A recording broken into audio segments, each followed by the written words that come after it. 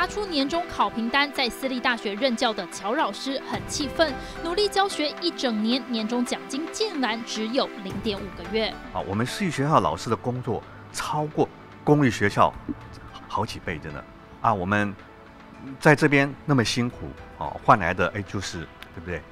我们年终奖金零点五个月。原来每个系所都有固定配额，整间大学两成老师根本领不到年终。更离谱的是，摊开考核项目，除了教学评鉴之外，还有系务贡献度，像是招生人数都会列入。教授痛批领年终竟还得绑招生。我连续三年都领到零点五个月，算你的年终奖金是包括了教师评鉴的成绩。那教师评鉴的成绩就有很多的项目是跟招生有关系的。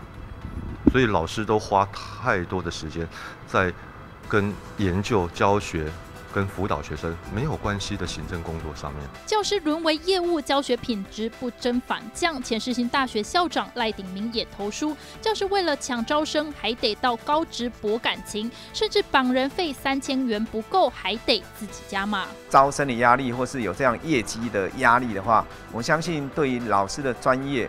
好，还有学生的学习的部分，会造成一定程度的冲击。